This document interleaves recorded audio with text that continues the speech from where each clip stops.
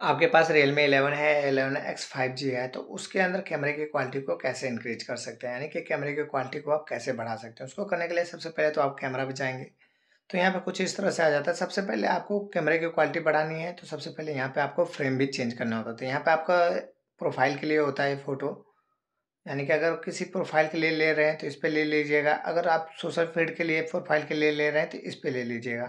बाकी अगर आपको चाहिए कि स्टोरी या स्टोरी लगाने के लिए ज़्यादातर बंदे करते हैं तो आप स्टोरी लगाने के लिए इस पर कर लीजिएगा। बाकी यहाँ पे फुल स्क्रीन पे जब करते हैं, जब करते हैं कि जब आपको फ़ोटो क्लिक करनी हो या कुछ अच्छी वीडियो वीडियो शूट करनी होती है मतलब शादी वादी टाइप की तो इस जाके फुल स्क्रीन पे कर लीजिएगा।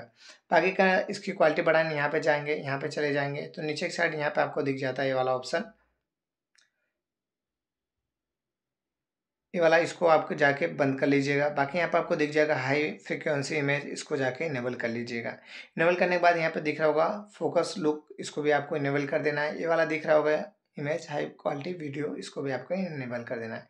इनेबल करने के बाद यहाँ पर आपको देख लेना होता है, ऊपर की साइड एक और सेटिंग होती है जो कि आपको देखने को मिल जाती है। ये वाला, ठीक है? इससे क्या होता है कि आपका जो लेवल होता है, वो एडजस्ट करके बताता रहता है कि कितना में है, कितना नहीं है। बाकी ये दिख रहा होगा मिरर फिर सेल्फी इसको भी आपको बंद कर देना होता है। बंद करने के बाद अब याद रहे कि कभी भी आप फ़ोटो ले रहे हो तो आपका फ्लैश लाइट बंद हो और आपका जो भी फ्लैश लाइट बंद होना चाहिए ज़रूर और कोई भी फ़िल्टर भी नहीं लगना चाहिए। तब जाके आपकी कोई भी फ़ोटो वोटो या कुछ भी क्लिक करते हैं तो आपको काफ़ी अच्छी फ़ोटो क्लिक होने चालू हो जाएगी।